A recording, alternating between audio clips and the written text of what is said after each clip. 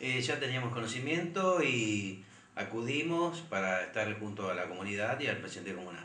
¿Qué es lo que la comunidad exige? No, ellos no nos plantearon exigencias, simplemente sugerencias, saber qué es lo que está pasando, que, cómo es la justicia de menores, eh, qué se está haciendo. Fue una charla, fue una charla realmente eh, constructiva. Hay una situación real que la población comúnmente desconoce algunas cuestiones legales. Por ejemplo, esto que nombró usted recién, eh, ¿qué pasa con un menor cuando, cuando ingresa a la comisaría que es detenido? ¿Cómo es ese procedimiento y por qué a las horas obtiene su libertad? Bueno, nosotros nos ajustamos a las normativas legales en vigencia. un menor comete un delito, de acuerdo a su edad, eh, toma intervención la Secretaría del Menor, la Niñez y la Familia. Si es un poco mayor, entre 16 y 17 años, ya toman intervención los jueces de menores.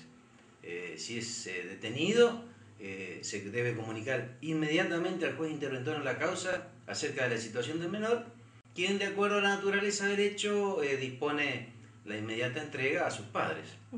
Eh, a su entender, ¿cuáles pueden ser las estrategias entre eh, policía, comuna, comunidad para llevar adelante bueno, esta cuestión de seguridad y la prevención sobre todo? ¿no? Bueno, eh, como primera medida se ha dispuesto, el jefe de la Unidad Regional 11 ha dispuesto un dispositivo este fin de semana que comenzó ayer, va a seguir mañana durante la semana y hasta tanto se soluciona eso, un dispositivo de saturación con más de cinco móviles y gente eh, personal policial caminando y patrullando las localidades. Eh, y de ahí en más eh, seguiremos trabajando junto a la gente, junto al presidente comunal de San Carlos Sur y el intendente. Y estamos abiertos a todas las sugerencias. bueno, ¿la policía cuenta con los móviles, con lo que necesita para poder hacer este tipo de operativos? Se afectaron recursos logísticos, que son los móviles, y recursos humanos, agregándose además móviles y personal policial de la ciudad de Esperanza. Eh, quien les habla está constituyendo despachos este fin de semana en San Carlos Centro para supervisar directamente las tareas que se deben realizar. ¿Esto surge a consecuencia de los últimos acontecimientos de la semana pasada en nuestra zona? Así es, así es. Si bien ya varios han sido esclarecidos con personas detenidas, mayores de edad, menores de edad, eh, también persiste la captura a nivel nacional de más personas que ya han sido identificadas, eh, principalmente en el hecho eh, de robo calificado ocurrido en San Carlos Centro, comúnmente conocido como asalto a mano armada.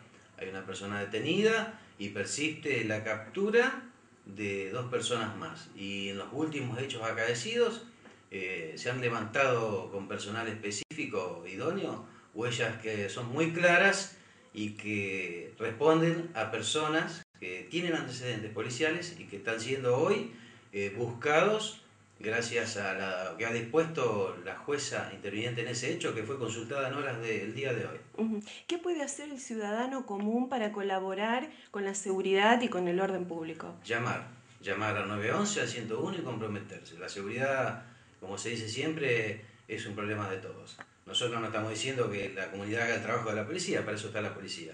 Pero llamar, llamar. Ante la duda, llamar. Un auto sospechoso, una persona sospechosa.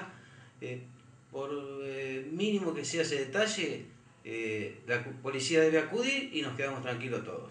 ¿El trámite de averiguación de antecedentes es rápido? Es rápido, sí, es rápido, son seis horas.